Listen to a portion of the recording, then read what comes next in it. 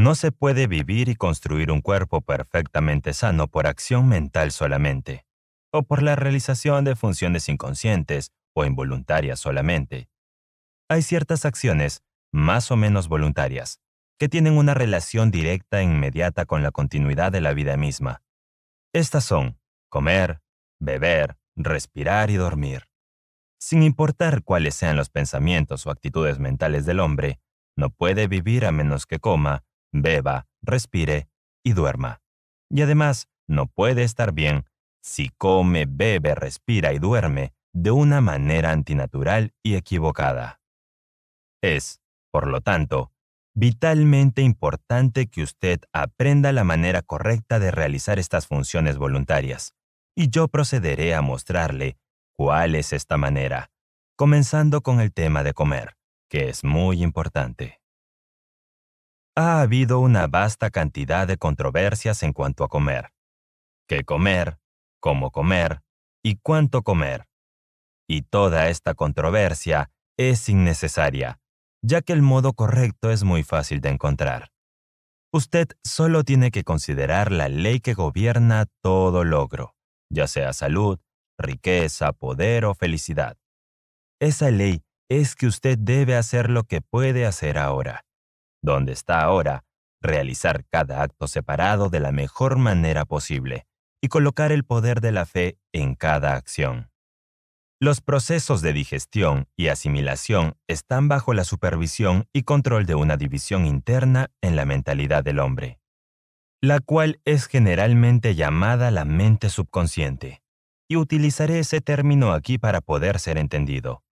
La mente subconsciente está a cargo de todas las funciones y procesos de la vida, y cuando el cuerpo necesita más comida, hace que se conozca el hecho causando una sensación denominada hambre. Cada vez que se necesita comida y puede ser utilizada, aparece el hambre, y cada vez que se siente hambre es tiempo de comer. Cuando no hay hambre, es antinatural y erróneo comer. No importa qué tan grande pueda parecer la necesidad de comida. Incluso si usted está en una condición de aparente inanición, con gran enaciación, si usted no tiene hambre usted debe saber que la comida no puede ser utilizada. Y será antinatural y erróneo que usted la coma.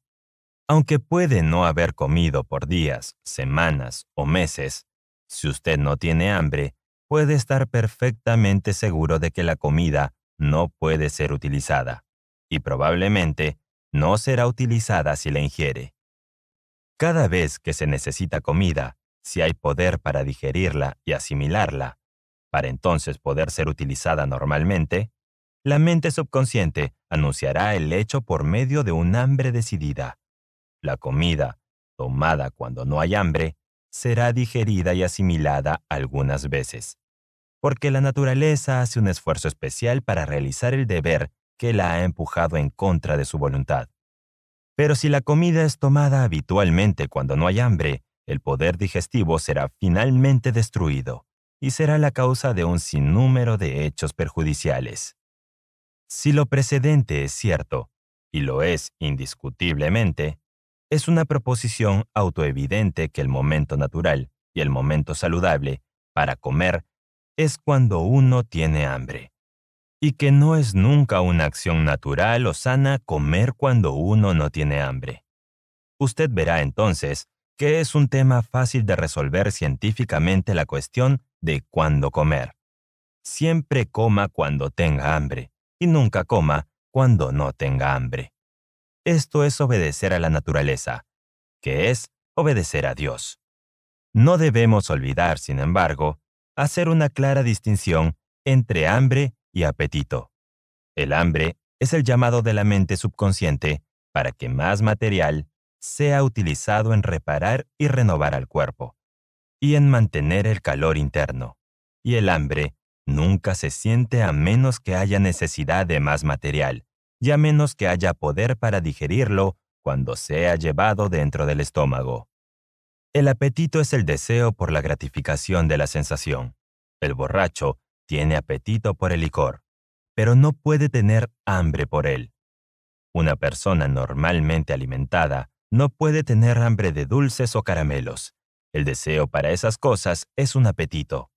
No puede tener hambre para tomar un té, café, comidas sazonadas o para los variados artificios tentadores del gusto del cocinero experimentado. Si usted desea estas cosas, es con apetito, no con hambre. El hambre es la llamada de la naturaleza para que le den más material que necesita ser utilizado en construir nuevas células. Y la naturaleza nunca llama para algo que no pueda ser utilizado legítimamente para ese propósito. El apetito es, comúnmente, una cuestión de hábito. Si uno come o bebe a cierta hora, y especialmente si uno toma comidas endulzadas, sazonadas y estimulantes, el deseo viene regularmente, a la misma hora. Pero este deseo habitual de comida nunca debe ser confundido con el hambre. El hambre no aparece en momentos específicos. Solo viene cuando el trabajo o el ejercicio han destruido tejido suficiente como para hacer que la ingesta de nuevo material crudo sea una necesidad. Por ejemplo, si una persona ha sido alimentada suficientemente en el día anterior, es posible que pueda sentir hambre genuina al levantarse de un sueño refrescante. En el sueño el cuerpo es recargado con poder vital, y la asimilación de comida que ha sido tomada durante el día se completa. El sistema no tiene necesidad de comida inmediatamente después de dormir, a menos que la persona haya ido a descansar en un estado de inanición. Con un sistema de alimentación que sea incluso un acercamiento razonable a uno natural, nadie puede tener hambre real para un desayuno temprano en la mañana. No es posible que haya un hambre normal o genuina inmediatamente después de levantarse de un sueño saludable. El desayuno en la mañana temprano siempre es tomado para gratificar al apetito, nunca para satisfacer al hambre. No importa quién sea o cuál sea su condición, no importa qué tan duro trabaje o cuánto esté expuesto, a menos que usted vaya a su cama con mucha hambre, no puede levantarse de su cama hambriento. El hambre no es causada por el sueño, sino por el trabajo. Y no importa quién sea usted o cuál sea su condición, o qué tan duro o fácil sea su trabajo. El así llamado plan del ayuno es el plan correcto para usted. Es el plan correcto para todos porque está basado en la ley universal en la que el hambre nunca viene hasta que es ganada.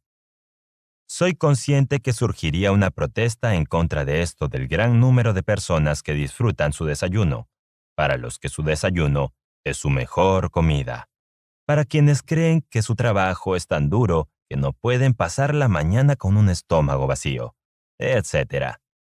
Pero todos sus argumentos caen ante los hechos. Ellos disfrutan su desayuno como el que gusta beber disfruta su trago matutino, porque gratifica un apetito habitual y no porque abastezca una necesidad natural. Es su mejor comida para la misma razón que su trago matutino es la mejor bebida del bebedor.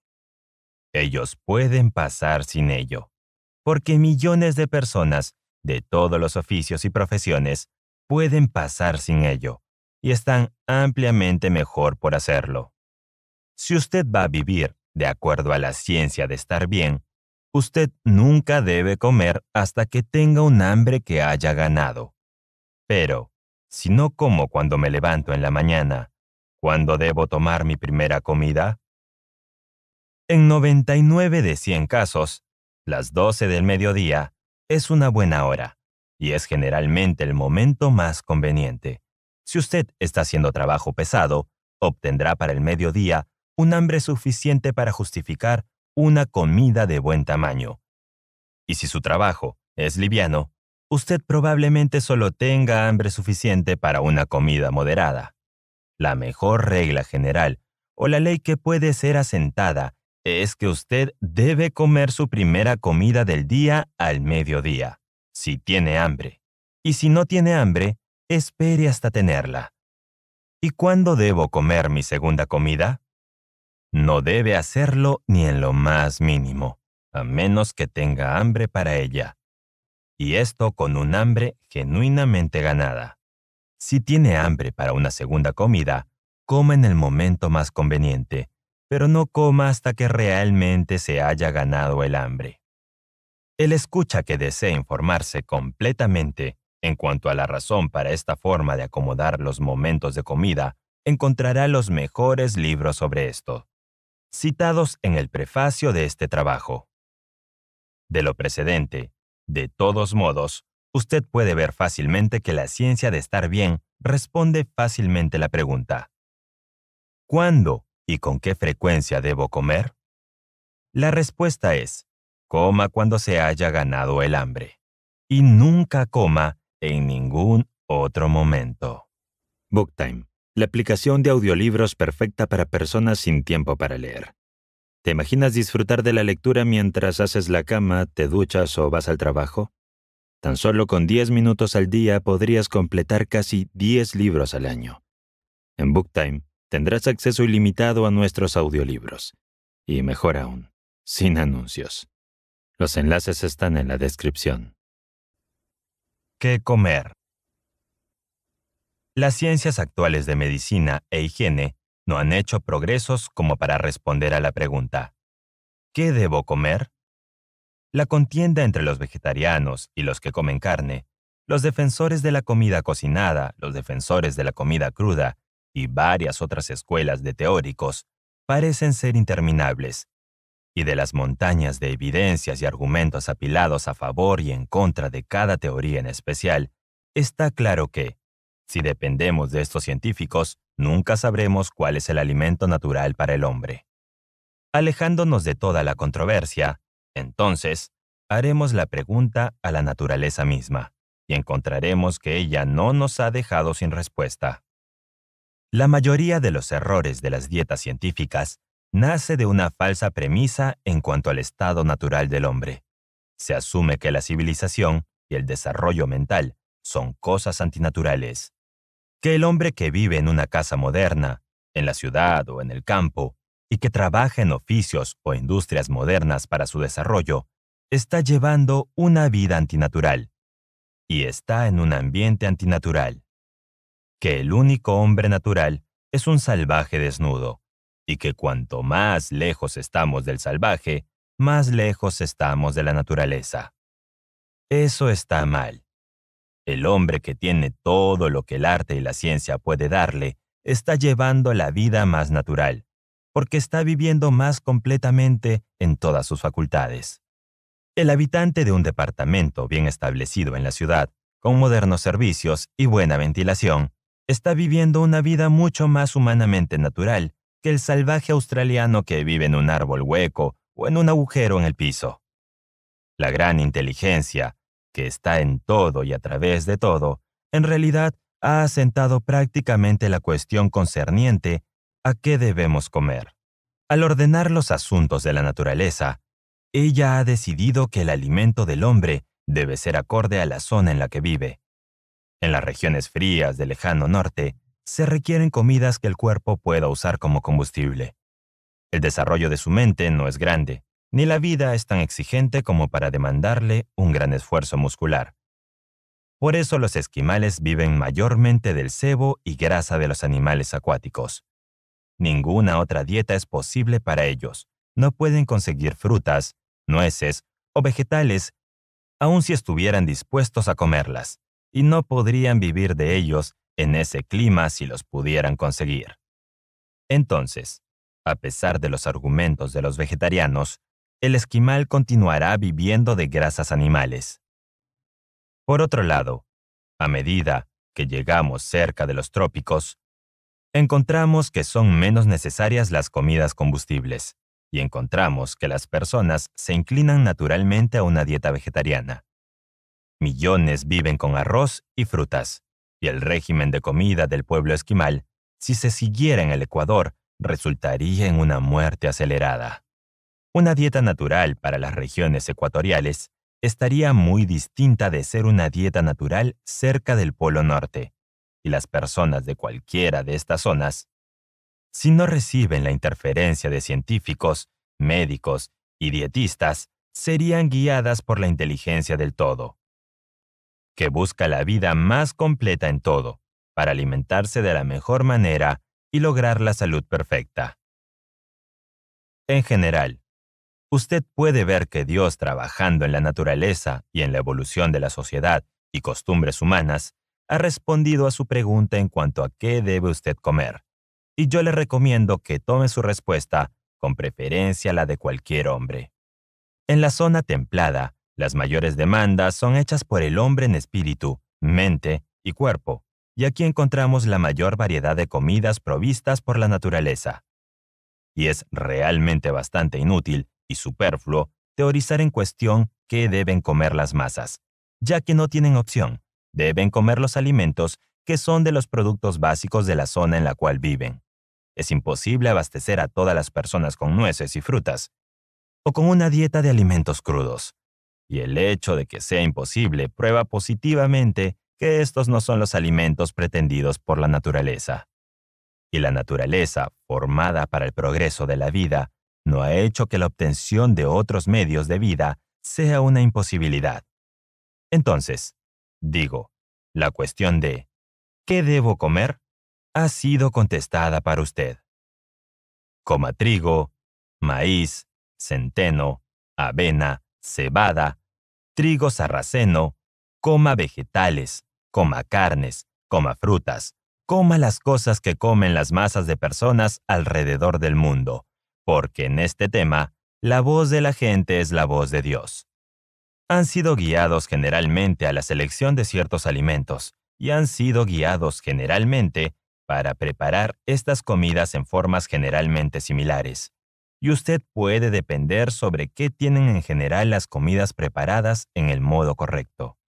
En estos temas, la raza humana ha estado bajo la guía de Dios. La lista de comidas de uso común es muy larga, y usted debe relacionar de allí de acuerdo a su gusto individual. Si lo hace, encontrará que usted tiene una guía infalible, como se muestra en los próximos dos capítulos. Si usted no come hasta que tenga un hambre que haya ganado, no encontrará que su gusto le exige comidas antinaturales e insanas. El leñador que ha usado su hacha continuamente desde las 7 de la mañana hasta el mediodía no viene clamando por cremas y pastelería.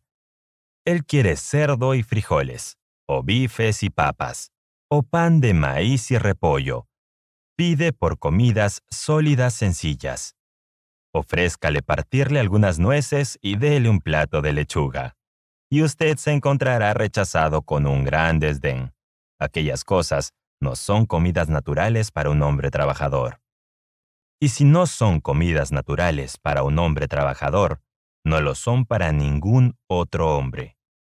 Porque el hambre del trabajo es la única hambre real y requiere los mismos materiales para satisfacerla, ya sea un leñador o un banquero, en el hombre, mujer o niño. Es un error suponer que la comida debe ser seleccionada con angustioso cuidado para encajar con el gusto de la persona que come. No es cierto que el leñador requiere comidas pesadas o sólidas y el contador necesita comidas livianas. Si usted es un contador u otro trabajador mental y no come hasta que haya ganado su hambre, usted querrá exactamente los mismos alimentos que quiere el leñador. Su trabajo está hecho exactamente de los mismos elementos que los del leñador y requiere los mismos materiales para construir células.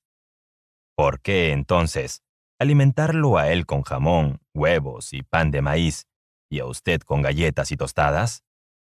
Cierto, la mayoría de su desgaste es muscular, mientras que la mayoría del suyo es de los tejidos nerviosos y cerebrales.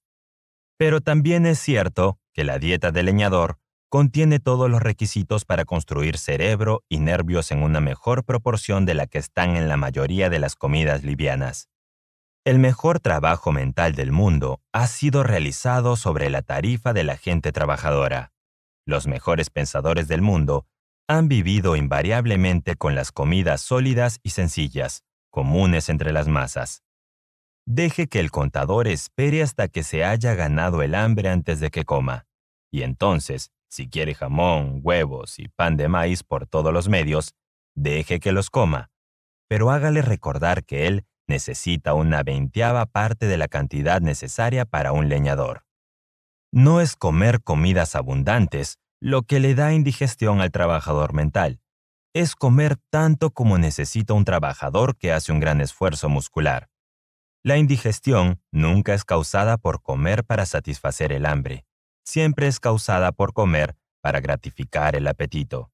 Si usted come en la manera prescrita en el próximo capítulo, su gusto pronto se convertirá en algo tan natural que usted nunca querrá, algo que no pueda comer con impunidad y puede olvidarse para siempre de toda la ansiedad que le provoca pensar que va a comer, y simplemente comer lo que usted quiere. Efectivamente, esa es la única manera de hacer si usted no piensa otro pensamiento que no sea el de la salud, porque no puede pensar en la salud mientras esté en duda continua e incertidumbre en cuanto a si está comiendo correctamente. No os preocupéis por lo que vais a comer dijo Jesús, y habló sabiamente. La comida que puede encontrarse sobre la mesa de cualquier familia corriente de clase media o de clase trabajadora nutrirá su cuerpo perfectamente, si usted come en los momentos correctos y en el modo correcto. Si usted quiere carne, cómala. Si no la quiere, no la coma. Y no suponga que debe encontrar algún sustituto especial para ella. Usted puede vivir perfectamente bien con lo que le queda en cualquier mesa después de retirar la carne. No es necesario preocuparse por una dieta variada, para poder ingresar todos los elementos necesarios. Los chinos y los hindús tienen muy buenos cuerpos y cerebros excelentes como una dieta de pocas variedades de productos. Casi la totalidad de ella es arroz. Los escoceses son física y mentalmente fuertes con un régimen con base en tortas de avena, y los irlandeses son de cuerpo musculoso y mente brillante, alimentándose con papas y cerdo. La valla de trigo contiene prácticamente todo lo que es necesario para construir el cerebro y el cuerpo. Y un hombre puede vivir muy bien con una monodieta de frijoles de la marina. Forme una concepción de salud perfecta para usted y no retenga ningún pensamiento que no sea un pensamiento de salud. Nunca coma hasta que usted se haya ganado el hambre. Recuerde que no lo lastimará en absoluto tener hambre por un corto tiempo, pero seguramente lo lastimará comer cuando no tiene hambre. No le dé el más mínimo pensamiento a lo que usted debe o no debe comer. Simplemente coma lo que le coloquen delante, seleccionando lo que más satisfaga su gusto. En otras palabras, coma lo que quiera esto lo puede hacer con resultados perfectos si usted come en la manera correcta. Y cómo hacer esto será explicado en el próximo capítulo. ¿Cómo comer? Es un hecho asentado que el hombre naturalmente mastica su comida. Los pocos caprichosos que sostienen que debemos engullir nuestro alimento. Como lo hacen los perros y otros de los animales inferiores, no deben ser escuchados. Sabemos que debemos masticar nuestra comida. Y es natural que mastiquemos nuestra comida. Cuanto más la mastiquemos, más natural deberá ser el proceso. Si usted masticara cada bocado hasta convertirlo en líquido, no necesitaría estar preocupado en lo más mínimo por lo que debe comer, ya que usted podría obtener suficiente nutrimento de cualquier alimento corriente. Que masticar sea una tarea ingrata y laboriosa o un proceso agradable depende de la actitud mental en la que usted llega a la mesa. Si su mente y actitud están en otras cosas, o si está ansioso o preocupado por los negocios o asuntos domésticos, encontrará difícil sin engullir más o menos su comida. Usted debe aprender a vivir con tanta ciencia que no tenga inquietudes domésticas o de negocios como para preocuparse. Esto puede hacerlo, y también puede aprender a darle una atención indivisible al acto de comer cuando está en la mesa. Cuando usted coma, hágalo con el propósito fijo de conseguir todo el goce que pueda de esa comida. Descarte todo lo demás de su mente y no deje que nada quite su atención del alimento y su sabor, hasta que su comida se haya terminado.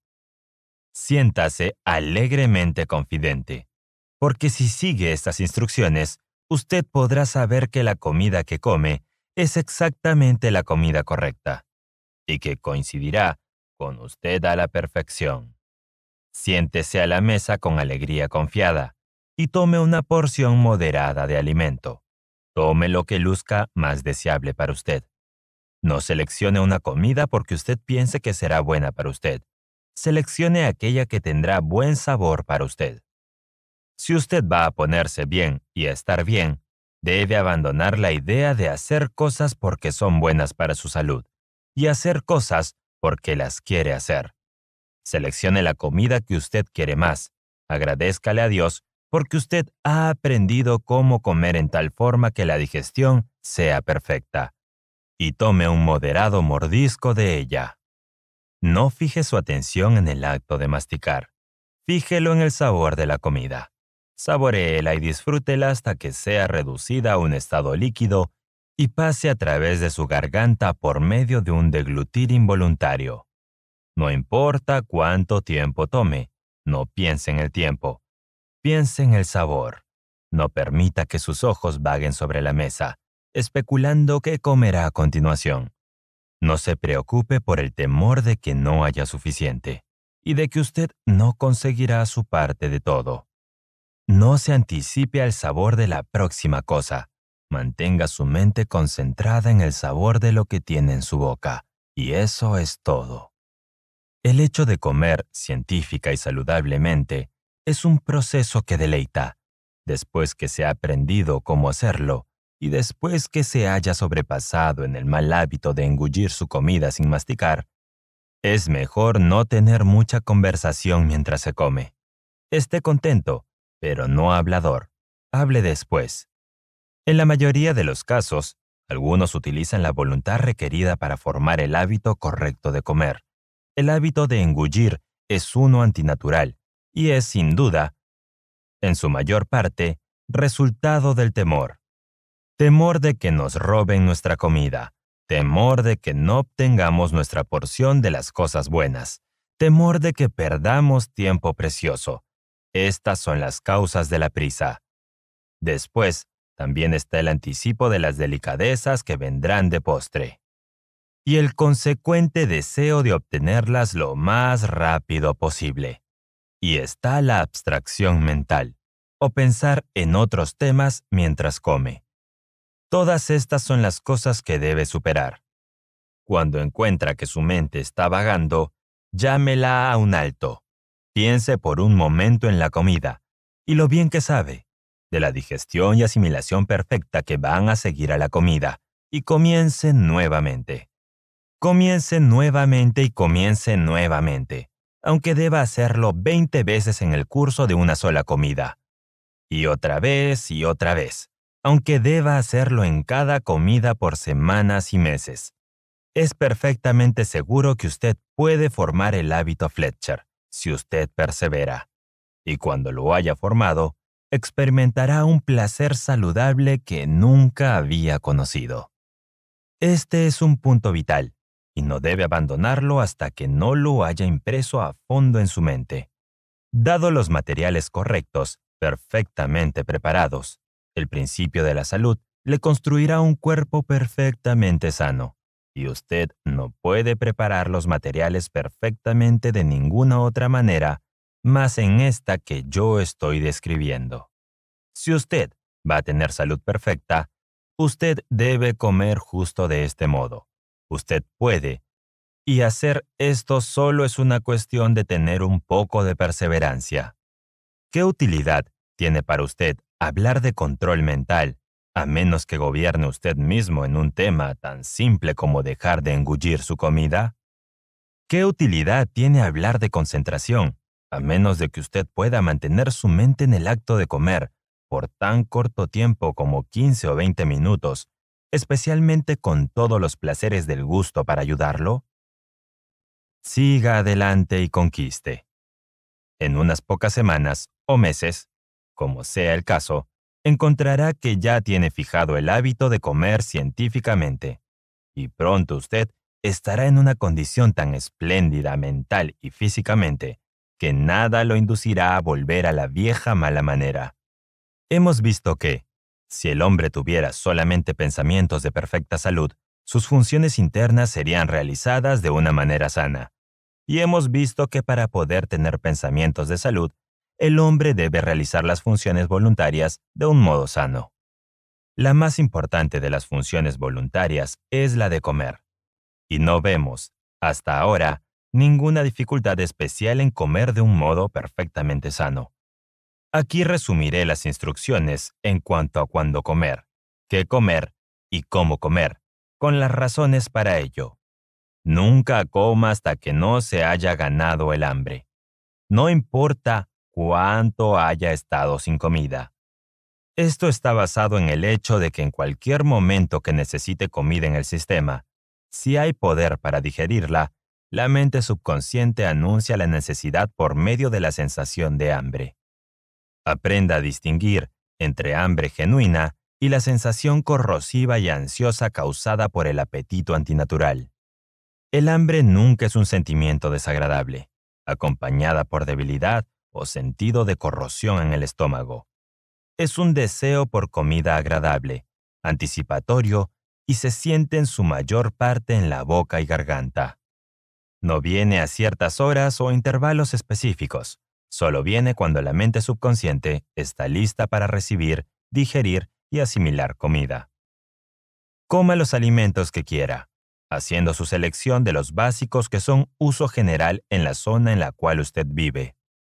La inteligencia suprema ha guiado al hombre en la selección de estas comidas, y son las correctas para todos. Me refiero, por supuesto, a las comidas que son tomadas para satisfacer el hambre, no aquellas que han sido meramente concebidas para gratificar el apetito o gusto pervertido. El instinto que ha guiado a las masas de hombres a hacer uso de las grandes comidas básicas para satisfacer su hambre es un instinto divino. Dios no ha cometido ningún error, y usted no se equivocará si come esas comidas.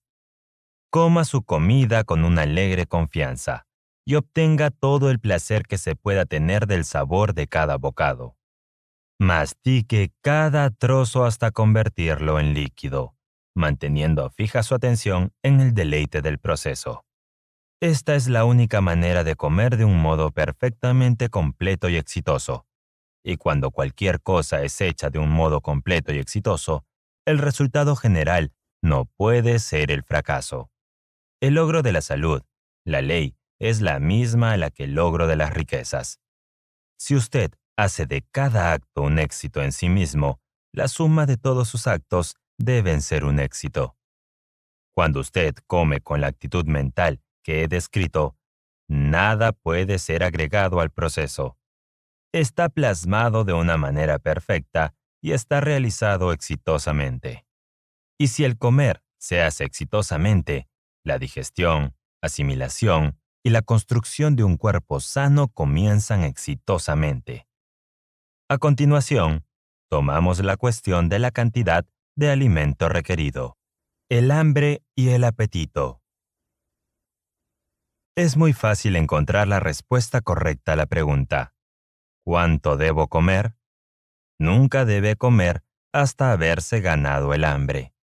Y usted debe parar de comer en el instante que comienza a sentir que su hambre se está calmando. Nunca coma demasiado. Nunca coma hasta la represión. Cuando usted comience a sentir que su hambre se satisface, sepa que ha tenido suficiente, porque antes de que tenga suficiente, seguirá sintiendo la sensación de hambre. Si usted come como se explicó en el capítulo anterior, es probable que comience a sentirse satisfecho antes de que haya ingerido la mitad de su cantidad habitual. Pero deténgase ahí, siempre. No importa qué tan atractivamente delicioso sea el postre, o cuán tentadora sea la tarta o el budín. No coma un bocado de ello si usted encuentra que su hambre ha sido saciada hasta el último grado por otros alimentos que usted ha comido. Cualquier cosa que coma después que su hambre comienza a disminuir será ingerida para gratificar al gusto y al apetito, no al hambre, y no es un llamado de la naturaleza en absoluto. Es, por lo tanto, un exceso, mero desenfreno, y no puede fracasar en ser maliciosa. Este es un punto que necesitará ver con gentil discriminación, ya que el hábito de comer puramente por la gratificación sensual está arraigado muy profundamente con la mayoría de nosotros. El habitual postre, de comidas dulces y tentadoras, está preparado únicamente con la óptica de inducir a las personas a comer después que el hambre ha sido satisfecha. Y todos los efectos son malignos. No es que las tartas y tortas sean comidas incompletas. Generalmente son perfectamente completas si son comidas para satisfacer el hambre y no para gratificar al apetito. Si usted quiere tarta, torta, pasteles o budines, es mejor comenzar su comida con ellos, terminando con las comidas más sencillas y menos gustosas. Encontrará de todas formas que si usted come como se dijo en los capítulos precedentes, pronto llegará a saborear la comida más sencilla, tan apetitosa como si fuera liebre real. Porque su sentido del gusto, como todos sus otros sentidos, se hará tan agudo con los mejoramientos generales en su condición que usted encontrará nuevos deleites en cosas comunes. Ningún glotón disfrutó alguna vez tanto la comida como el hombre que come únicamente por el hambre, que consigue el mejor de cada bocado y que se detiene en el instante en que siente que ha llegado al margen de su hambre. La primera indicación de que el hambre está disminuyendo es la señal de la mente subconsciente diciendo que es tiempo de dejarlo.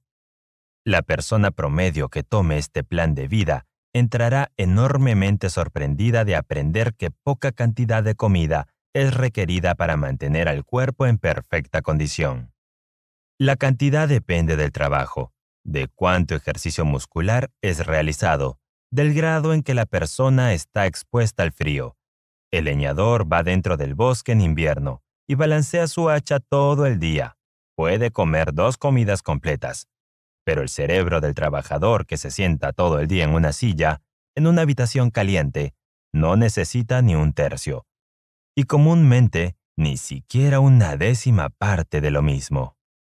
La mayoría de los leñadores comen dos o tres veces esto, y la mayoría de los trabajadores mentales de tres a diez veces más de lo que dicta la naturaleza y la eliminación de esta inmensa cantidad de basura excedente de sus sistemas es impuesto sobre el poder vital que en poco tiempo agota sus energías y los deja como una presa fácil para las llamadas enfermedades.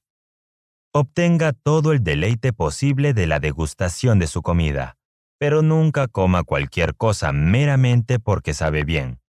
Y en el instante en que usted siente que su hambre está menos ansiosa, pare de comer. Si usted considera por un momento, verá que no hay, positivamente, ninguna otra manera para que usted pueda contestar esas variadas preguntas sobre la comida que no sea adoptando el plan aquí presentado para usted. En cuanto al momento correcto para comer, no hay otro modo para decirlo que decir que usted debe comer cuando sea que tenga un hambre que se haya ganado. Es una proposición autoevidente que es el momento correcto para comer y que cualquier otro es el momento incorrecto para comer. En cuanto a qué comer, la sabiduría eterna ha decidido que las masas de personas deben comer los productos básicos de la zona en la cual viven. Las comidas básicas de su zona en particular son las comidas correctas para usted, y la sabiduría eterna, trabajando en y a través de las mentes de las masas de los hombres, les ha enseñado cómo preparar mejor estas comidas si cocinadas o de otros modos. Y en cuanto a cómo comer, usted sabe lo que debe masticar su comida, y debe ser masticada. Entonces, la razón nos dice que cuanto más minuciosa y perfecta sea la operación, mejor será. Repito, que el éxito en cualquier cosa se logra por hacer de cada acto separado un éxito en sí mismo. Si usted hace cada acción sin tener en cuenta qué tan pequeña y sin importancia una acción enteramente exitosa, su día de trabajo, como un todo, no puede resultar en fracaso. Si usted hace exitosa las acciones de cada día, la suma total de su vida no puede ser un fracaso. Un gran éxito es el resultado de hacer un gran número de pequeñas cosas, haciendo cada una en un modo perfectamente exitoso. Si cada pensamiento es un pensamiento sano, y si cada acción de su vida es realizada de un modo sano, usted pronto logrará la salud perfecta. Es imposible divisar un modo en el cual usted pueda realizar el acto de comer más exitosamente y en una manera más acorde a las leyes de la vida, que por masticar cada bocado hasta que sea un líquido, disfrutar el gusto completamente y mantener mientras una alegre confianza. Nada puede ser sumado para hacer el proceso más exitoso, mientras que, si algo es sustraído, el proceso no será completamente sano. En el tema de cuánto comer, usted también verá que no puede haber ninguna otra guía tan natural, tan segura y tan confiable como la que yo he establecido. Parar de comer en el instante que usted siente que su hambre comienza a calmarse podemos confiar en la mente subconsciente para que nos informe cuándo se necesita la comida. Y podemos confiar implícitamente para que nos informe cuándo necesitamos abastecimiento. Si todo el alimento es comido con hambre y ningún alimento es tomado meramente para gratificar al gusto, usted nunca comerá demasiado. Y si usted come cada vez que se haya ganado el hambre, usted siempre comerá suficiente. Escuchando cuidadosamente el resumen en el siguiente capítulo, verá que los requerimientos para comer de un modo perfectamente sano son realmente pocos y simples. El tema de beber de un modo natural puede ser descartado aquí con muy pocas palabras. Si usted desea ser científicamente exacto y rígido, beba nada más que agua. Beba solamente cuando tiene sed. Beba cada vez que tenga sed. Y deténgase en cuanto sienta que su sed comienza a disminuir. Pero si usted está viviendo correctamente con relación a la comida, no será necesario practicar ascetismo o gran autonegación en el tema de beber. Usted puede tomar, sin perjuicios, una taza ocasional de café débil. Usted puede, a un grado razonable, seguir las costumbres de aquellos que están alrededor de usted. No adquiera el hábito de las bebidas burbujeantes. No tome meramente para cosquillar su paladar con líquidos dulces. Asegúrese de beber agua cada vez que sienta sed. Nunca sea demasiado perezoso, demasiado indiferente o demasiado ocupado como para obtener un trago de agua cuando usted sienta la más mínima sed. Si usted obedece esta regla, tendrá poca inclinación a tomar bebidas extrañas y antinaturales. Beba solamente para satisfacer la sed. Beba cada vez que sienta sed y deje de beber en cuanto sienta que la sed se calma. Ese es un modo perfectamente sano para abastecer al cuerpo con el material fluido necesario para sus procesos internos. En resumen, hay una vida cósmica que se impregna, penetra y llena los interespacios del universo, que está en y a través de todas las cosas. Esta vida no es necesariamente una vibración o forma de energía, sino que es una sustancia viva. Todas las cosas están hechas de ella, es todo y está en todo. Esta sustancia piensa y asume la forma de ello en lo que piensa el pensamiento de una forma, en esta sustancia crea la forma. El pensamiento de un movimiento instituye el movimiento. El universo visible, con todas sus formas y movimientos, existe porque está en el pensamiento de la sustancia original. El hombre es una forma de sustancia original y puede pensar pensamientos originales, y dentro de sí mismo, los pensamientos del hombre tienen un poder controlador y formativo. El pensamiento de una condición produce esa condición. El pensamiento de un movimiento instituye ese movimiento. Mientras que el hombre piensa en las condiciones y movimientos de enfermedad, las condiciones y movimientos de enfermedad existirán dentro de él. Si el hombre solo piensa en la salud perfecta, el principio de la salud dentro de él mantendrá condiciones normales. Para estar bien, el hombre debe formar una concepción de salud perfecta y sostener pensamientos armoniosos con esa concepción en cuanto a sí mismo y a todas las cosas.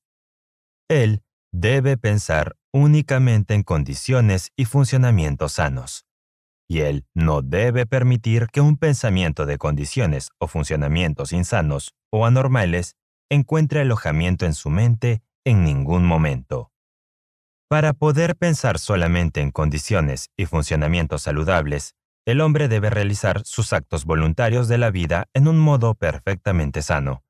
Él no puede pensar en salud perfecta mientras sepa que está viviendo de una manera errónea e insana, o incluso mientras tenga dudas en cuanto a si está viviendo o no de un modo sano. El hombre no puede pensar pensamientos de salud perfecta mientras sus funciones voluntarias sean realizadas de la misma manera de uno que está enfermo.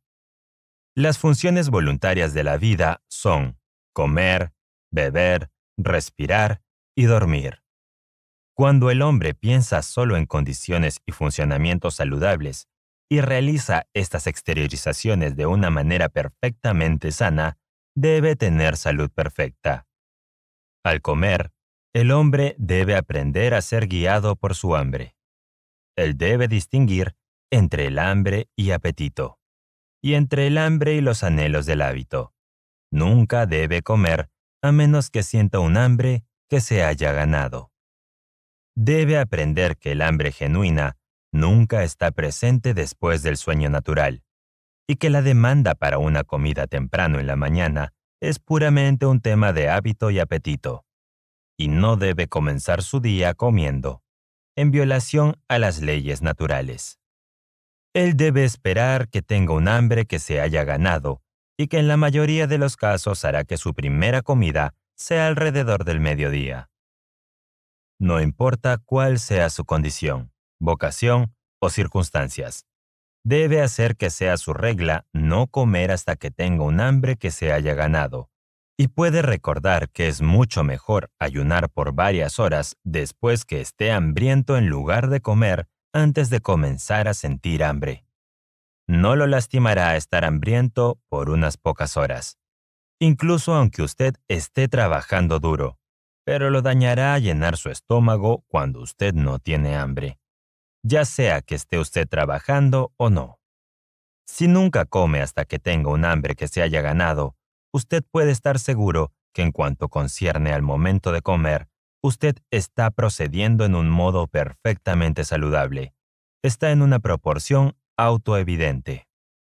En cuanto a lo que se debe comer, el hombre debe estar guiado por esa inteligencia que ha organizado que las personas de cualquier parte de la superficie de la Tierra deben vivir con los productos básicos de la zona en la cual habitan no les preste la más mínima atención a las controversias en cuanto a los méritos relativos de los alimentos cocidos o crudos, de vegetales o carnes, o en cuanto a su necesidad de carbohidratos y proteínas.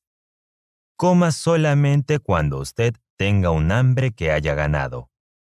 Y después, tome los alimentos comunes de las masas de personas en la zona en la cual vive, y tenga confianza perfecta que los resultados serán buenos lo serán. No busques lujos o cosas importadas o arregladas para tentar al gusto. Manténgase con los sólidos sencillos, y cuando aquellos no sepan bien, ayune hasta que lo hagan. No busques comidas ligeras, fácilmente digestibles o alimentos sanos. Coma lo que los granjeros y trabajadores comen. Entonces usted estará funcionando de una manera perfectamente saludable en cuanto a lo que concierne a qué comer. Repito, si usted no tiene hambre o gusto por las comidas simples, no coma en absoluto. Espere hasta que el hambre venga. Esté sin comer hasta que el alimento más simple tenga buen sabor para usted. Y entonces comience su comida con lo que le gusta más.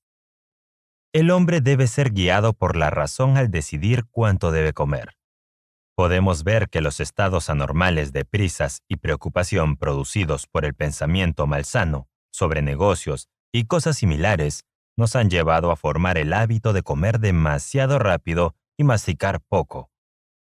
La razón nos dice que el alimento debe ser masticado y que cuanto más a fondo sea masticada la comida, mejor estará preparada para la química de la digestión.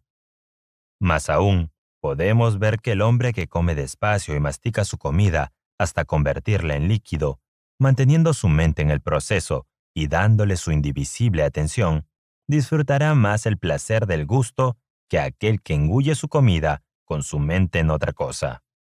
Para comer de una manera completamente saludable, el hombre debe concentrar su atención en el acto, con deleite alegre y confianza. Debe saborear su comida y debe reducir cada bocado a líquido antes de tragarlo. Las instrucciones anteriores, si son seguidas, hacen la función de comer completamente perfecta. Nada puede ser sumado en cuanto a qué, cuándo y cómo.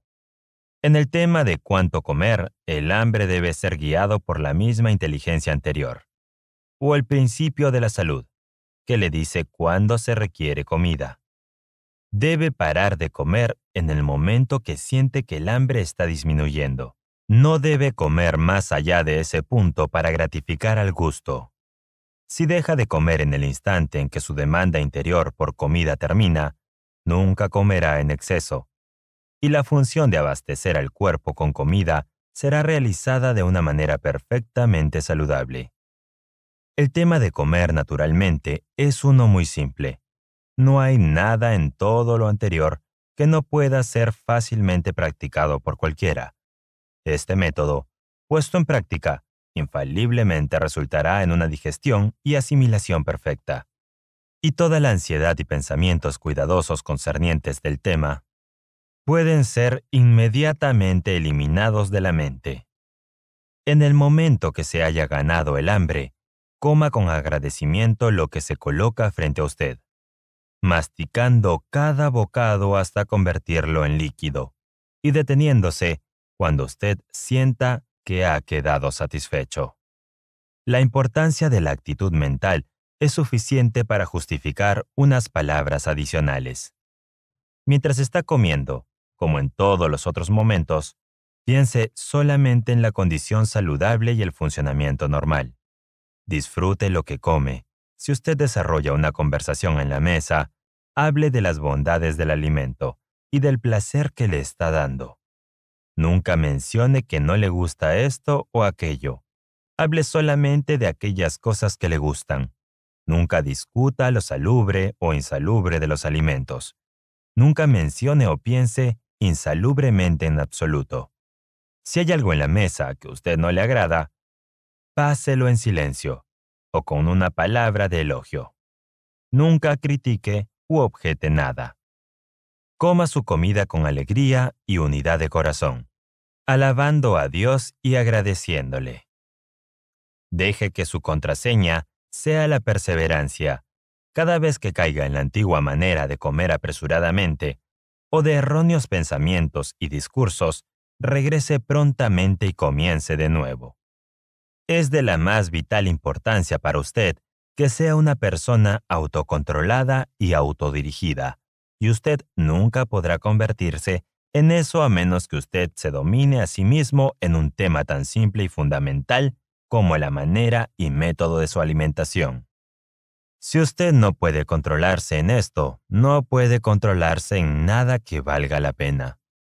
Por otro lado, si sigue las instrucciones anteriores, usted puede descansar seguro de que en cuanto a lo concerniente al pensamiento correcto y a la alimentación correcta, usted está viviendo en un modo perfectamente científico.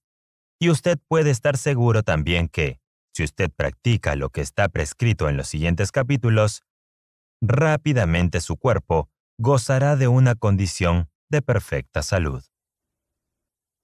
Respiración. Respirar es una función vital y concierne directamente a la continuidad de la vida. Podemos vivir muchas horas sin dormir, y muchos días sin comer o beber, pero solamente unos pocos minutos sin respirar. El acto de respirar es involuntario, pero la manera de hacerlo y la provisión de las condiciones propicias para una realización saludable caen dentro del campo de la voluntad. el hombre continuará respirando involuntariamente, pero puede, voluntariamente, determinar qué respirará y qué tan profundamente y concienzudamente lo hará. Y puede, por su propia voluntad, mantener el mecanismo físico en condiciones para la realización perfecta de la función. Es esencial, si desea respirar de un modo perfectamente sano, que la maquinaria física utilizada en el acto sea mantenida en buenas condiciones.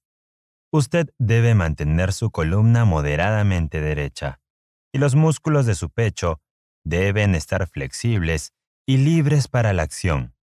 Usted no puede respirar en modo correcto si sus hombros están inclinados hacia adelante o su pecho hueco y rígido.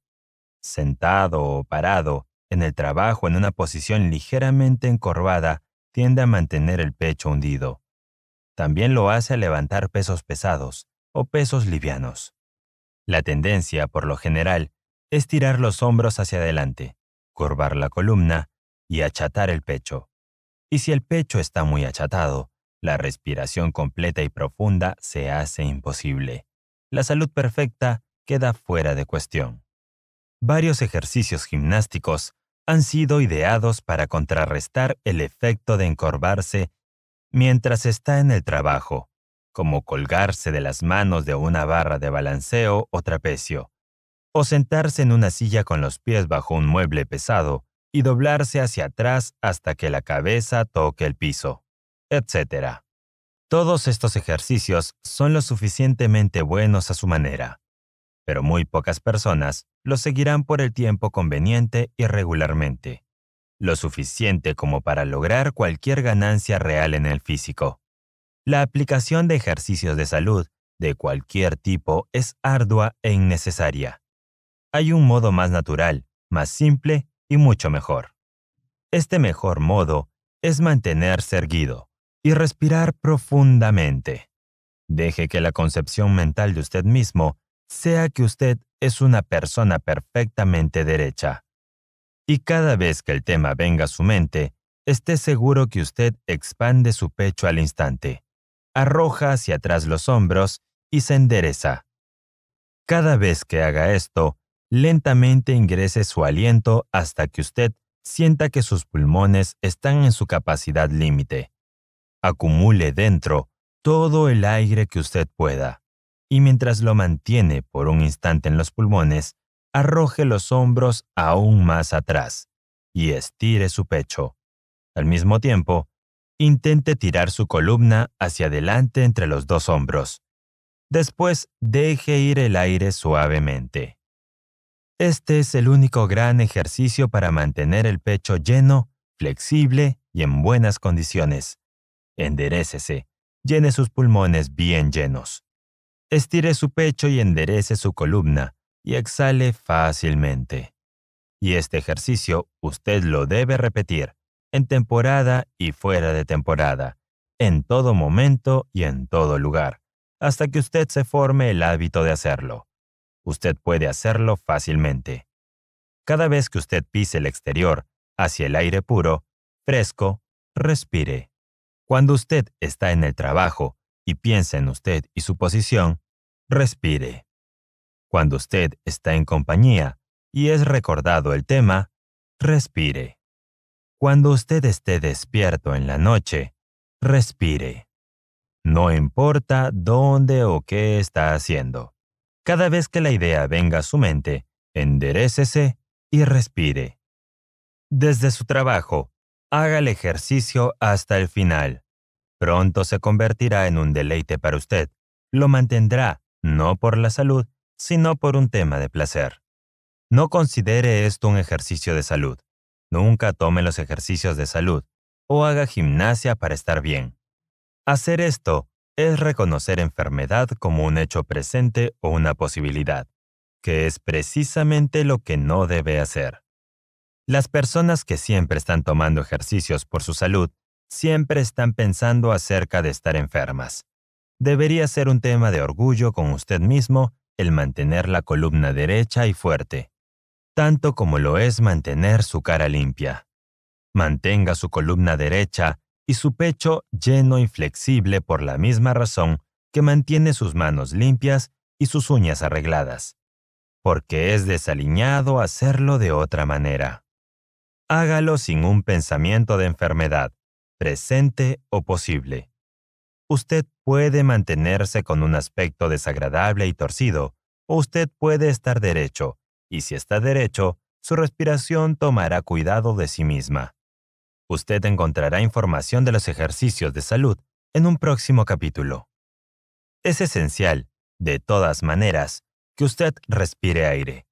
Parece ser la intención de la naturaleza que los pulmones deben recibir aire que contenga su porcentaje regular de oxígeno y que no esté enormemente contaminado por otros gases o por suciedad de cualquier otro tipo. No se permita pensar que usted está obligado a vivir o trabajar donde el aire no sea apropiado para respirar. Si su casa no puede ser ventilada apropiadamente, múdese. Y si usted es empleado donde el aire es malo, consígase otro trabajo. Usted puede, practicando los métodos descritos en el volumen precedente de esta serie. La ciencia de hacerse rico. Si nadie consintiera en trabajar en medio de un aire malo, los empleadores verían rápidamente qué hacer para que todos los lugares de trabajo fueran ventilados apropiadamente. El peor aire es aquel al que se le ha agotado el oxígeno por la respiración, como el de las iglesias y teatros donde se congregan multitudes de personas. Y la salida y abastecimiento de aire son pobres. A continuación de esto, está el aire conteniendo otros gases aparte de oxígeno e hidrógeno gas de cloaca y los efluvios de cosas descompuestas. El aire que está pesadamente cargado con polvo y partículas de materia orgánica puede ser tolerado mejor que cualquiera de estos otros. Pequeñas partículas de materia orgánica, aparte del alimento, son expulsadas generalmente de los pulmones, pero los gases van a la sangre. Hablo intencionalmente cuando digo aparte del alimento. El aire es, en forma amplia, un alimento. Es la cosa más completamente viva que tomamos con nuestro cuerpo. Cada respiración acarrea un millón de microbios, muchos de los cuales son asimilados. Los olores de la tierra, pasto, árboles, flores, plantas y de cocinar comidas son comidas en sí mismos. Son partículas diminutas de las sustancias de la cual provienen, y generalmente están tan atenuadas que pasan directamente de los pulmones a nuestra sangre y son asimilados sin digestión. Y la atmósfera se impregna con la sustancia original única, que es la vida misma.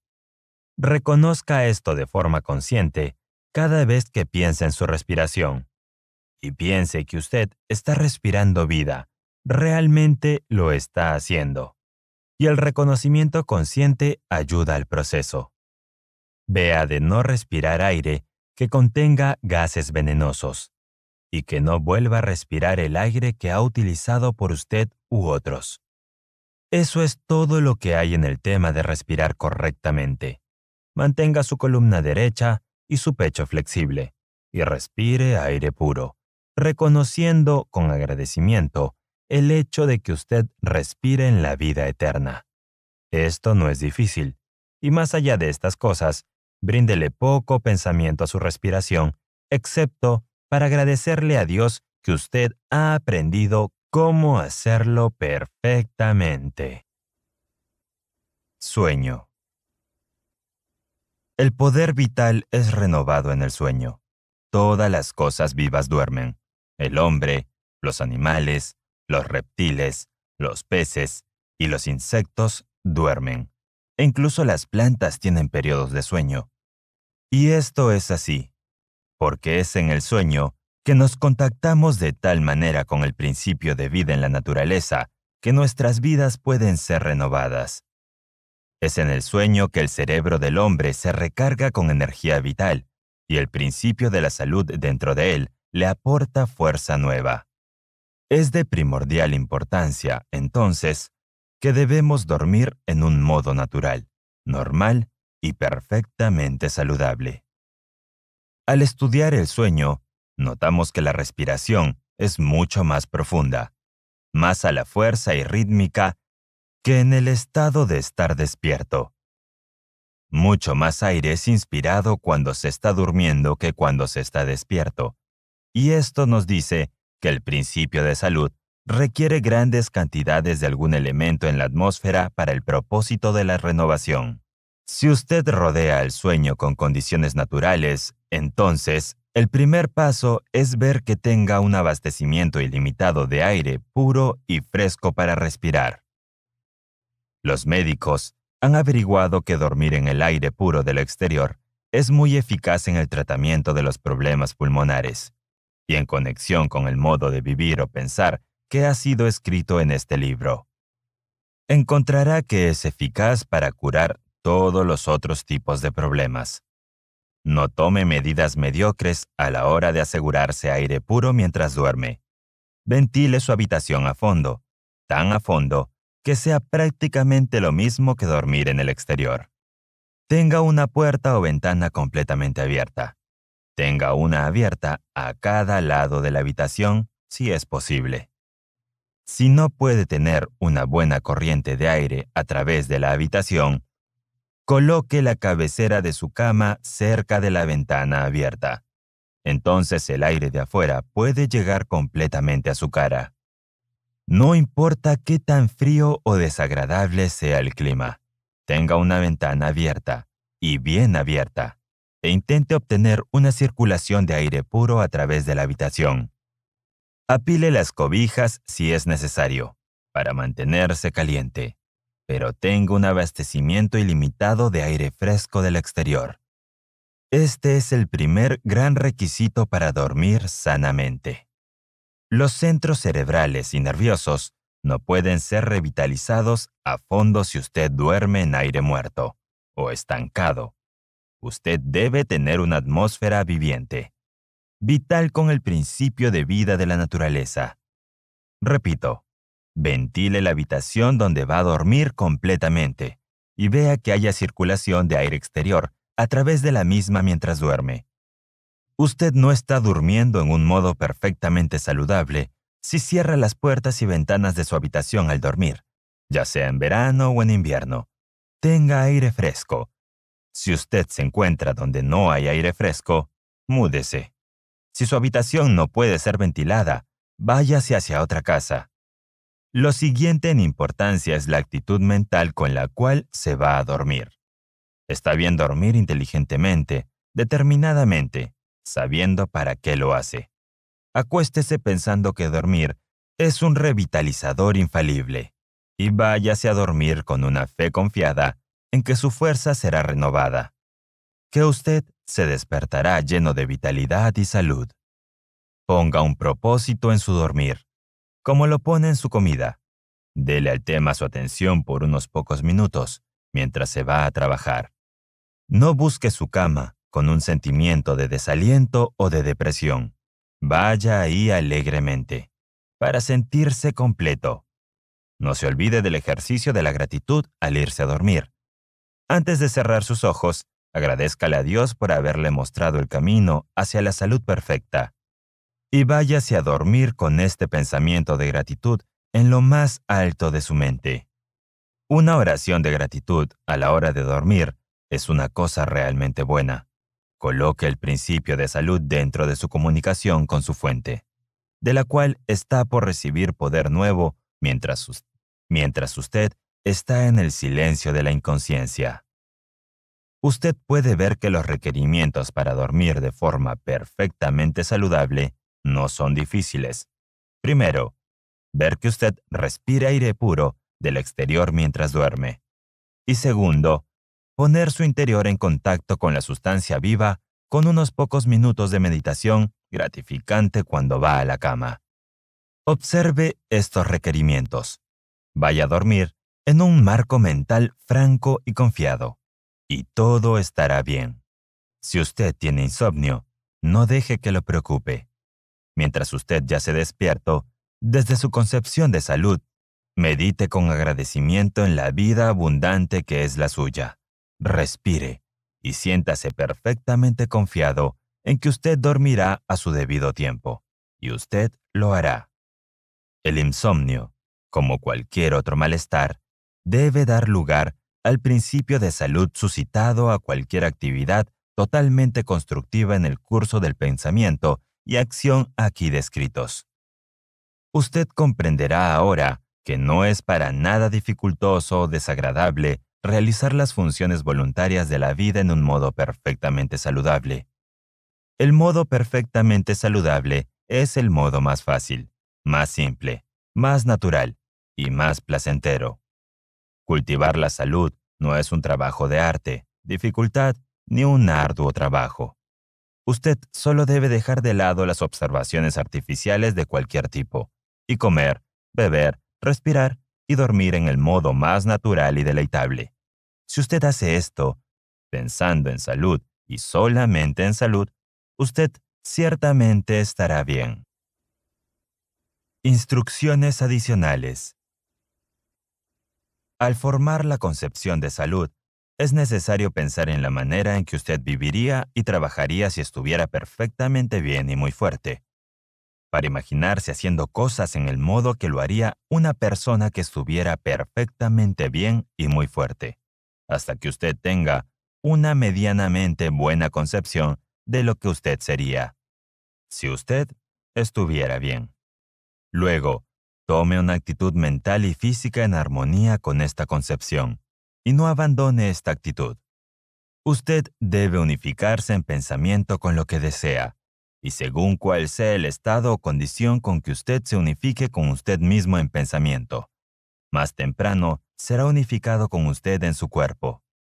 El modo científico es cortar relaciones con todo lo que usted no quiere y afrontar relaciones con todo lo que quiere. Forme una concepción de salud perfecta y relaciónese con esta concepción en palabra, acto y actitud. Controle su discurso, lo que usted se dice a usted mismo. Haga que cada palabra armonice con la concepción de salud perfecta. Nunca se queje. Nunca diga cosas como, no dormí bien anoche. Tengo un dolor en mi costado. No me siento para nada bien hoy, etc. Diga, estoy esperando con ansia una buena noche de sueño esta noche. Puedo ver que progreso rápidamente. Y cosas de significado similar. En cuanto a lo concerniente a todo lo conectado con la enfermedad, su mejor modo es olvidarlo. Y en cuanto a todo lo que concierne con lo conectado con la salud, su modo es unificarse con ella en pensamiento y discurso.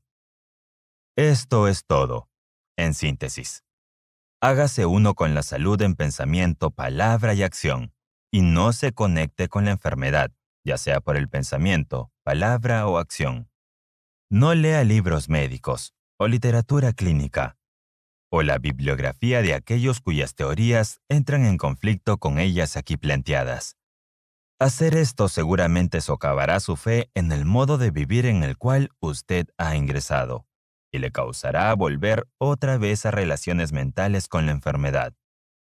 Este audiolibro realmente le brinda todo lo que es requerido. No ha sido omitido nada esencial y prácticamente todo lo superfluo ha sido eliminado. La ciencia de estar bien es una ciencia exacta. Como la aritmética, nada puede ser sumado a los principios fundamentales. Y si algo se elimina de ellos, resultará en un fracaso. Si usted sigue estrictamente el modo de vivir prescrito en este audiolibro, usted estará bien y usted, ciertamente, puede seguir este modo, tanto pensamiento como en acción. No se relacione solamente con usted mismo, sino lo más posible a todos los otros.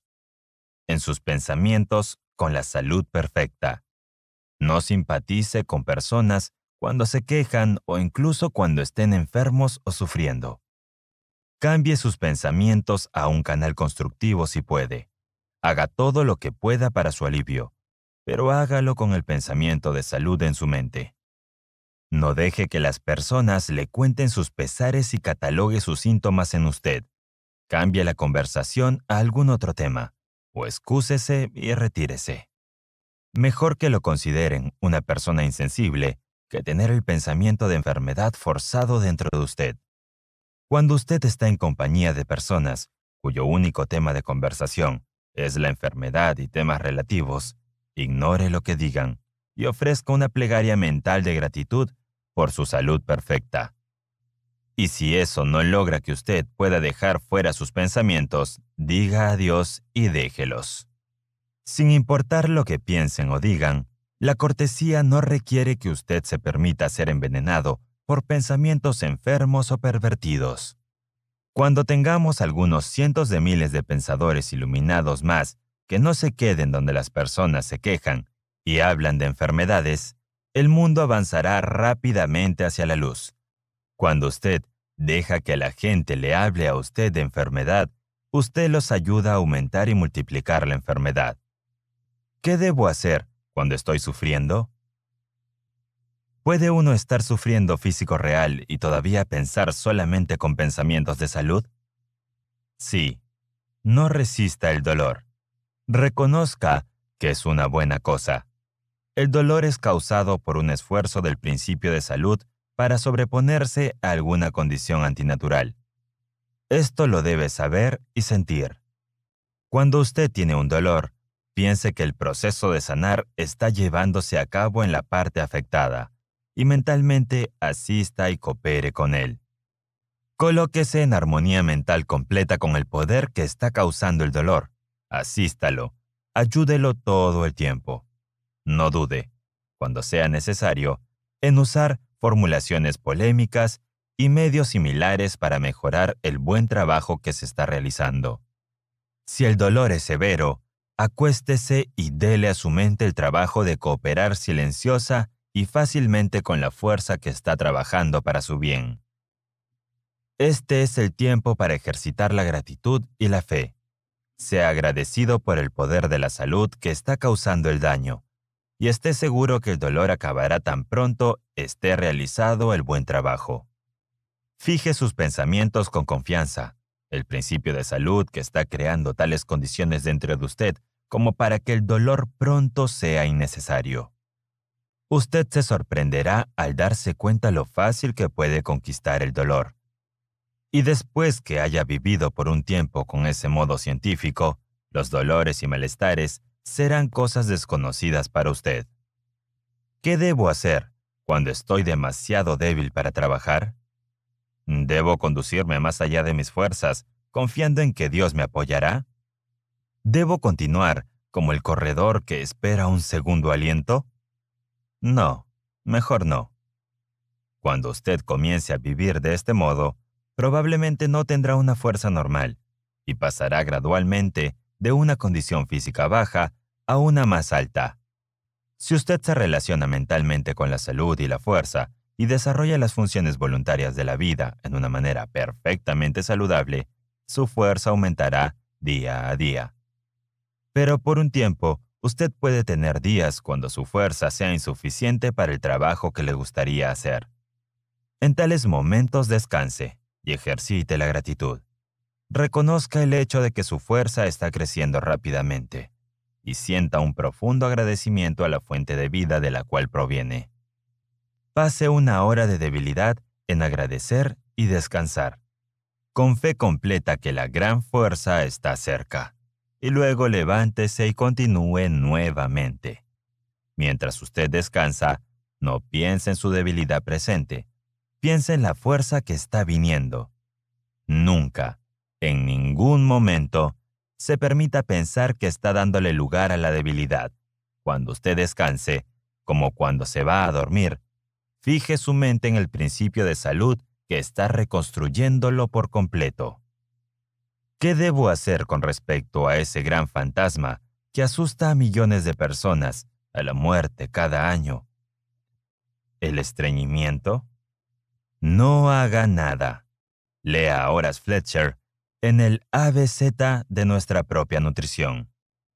Y consiga la fuerza total de su explicación en el hecho de que cuando usted vive en este plan científico, usted no necesita, y efectivamente no puede, tener una evacuación de los intestinos todos los días, y que una evacuación de entre una vez cada tres días a una vez en dos semanas es suficiente para la salud perfecta. Los que se alimentan groseramente, que comen de 3 a 10 veces más de lo que puede ser utilizado en sus sistemas, tienen grandes cantidades de desperdicios para eliminar. Pero si usted vive de la manera que hemos descrito, será de otra forma con usted.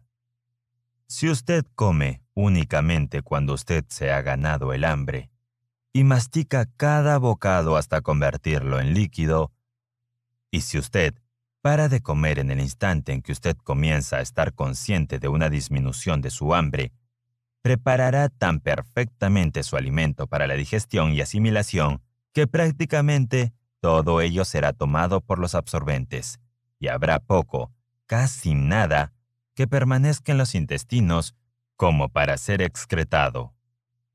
Si es capaz de desvanecer enteramente de su memoria todo lo que ha leído en libros de doctores y publicidad de patentes de medicinas concernientes a la constipación, usted no necesita darle a este tema ningún pensamiento en absoluto el principio de salud se ocupará de ello.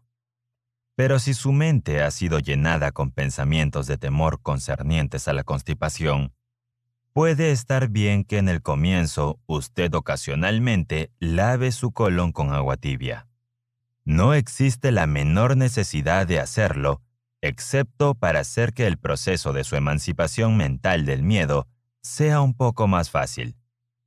Puede valer la pena solo por eso y en cuanto vea que está haciendo buenos progresos y que ha disminuido su cantidad de alimento y está comiendo realmente de un modo científico, descarte la constipación de su mente para siempre. No tiene nada más que hacer con ella. Coloque su confianza en ese principio dentro de usted que tiene el poder para darle salud perfecta. Relaciónelo por medio de su gratitud al principio de vida que es todo poder y continúe su camino con regocijo. ¿Y qué hay del ejercicio? Todo el mundo está mejor a cambio de una pequeña utilización total de los músculos todos los días. Y la mejor forma de conseguir esto es ocupándose en alguna forma de juego o entretenimiento. Trate de hacer su ejercicio en un modo natural, como la recreación, no una acrobacia forzada por el bien de la salud únicamente monte un caballo o una bicicleta, juegue al tenis o a los bolos, o arroje una pelota. Tenga alguna vocación como la jardinería, en la cual puede pasar una hora cada día con placer y beneficio. Hay miles de maneras en las cuales puede obtener el suficiente ejercicio para mantener su cuerpo flexible y su circulación buena, y aún así no caer en el único pensamiento de ejercitarse por salud. Ejercite por diversión y beneficio. Ejercite porque está demasiado sano para sentarse quieto. Y no porque usted desee ponerse sano o mantenerse así. ¿Son necesarios los ayunos prolongados? Rara vez si es que alguna. El principio de salud no requiere comúnmente 20, 30 o 40 días para estar listo para la acción. Bajo condiciones normales, el hombre llegará en mucho menos tiempo. En la mayoría de los ayunos prolongados, la razón por la cual el hambre no llega antes es porque ha sido inhibida por el paciente mismo. Comienza el ayuno con el temor, sino con la esperanza, de que pasarán muchos días antes de que llegue el hambre.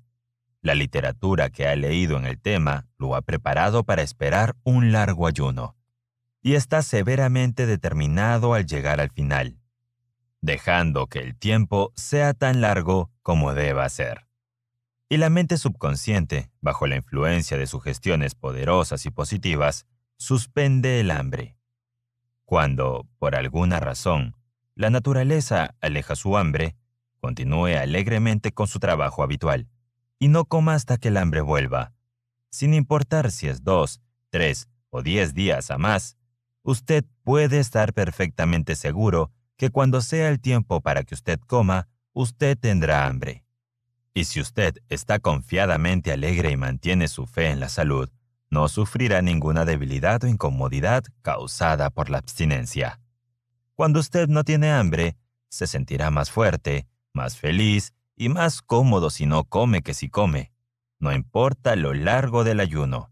Si usted vive en el modo científico descrito en este libro, nunca tendrá que hacer largos ayunos. Raramente se perderá una comida, y usted disfrutará sus comidas más que nunca en su vida.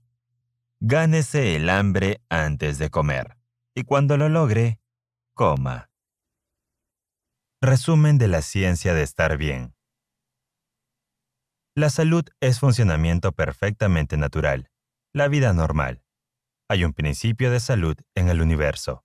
Es la sustancia viva, de la cual todas las cosas están hechas.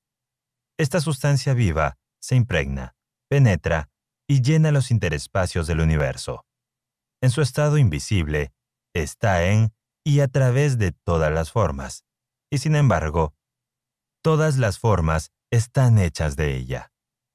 Para ilustrar, suponga que un vapor acuoso muy frío y que se puede difundir ampliamente debe hacerse permeable y penetrar en un bloque de hielo.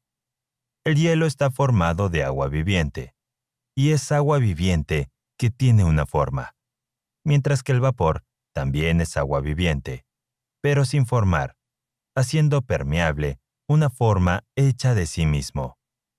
Esta ilustración, que explicará cómo la sustancia viva hace permeable todas las formas hechas de ella, toda la vida proviene de ella, es toda la vida que hay. La sustancia universal es una sustancia pensante y toma la forma de su pensamiento.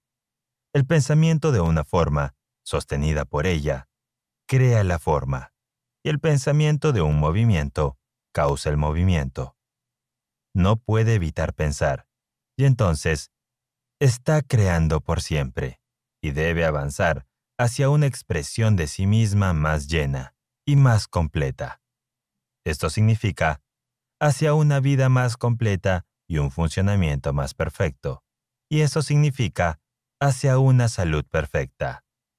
El poder de la sustancia viviente debe siempre ser empleado hacia la salud perfecta. Es una fuerza en todas las cosas para hacer su funcionamiento perfecto. Todas las cosas están impregnadas por un poder que se mueve hacia la salud.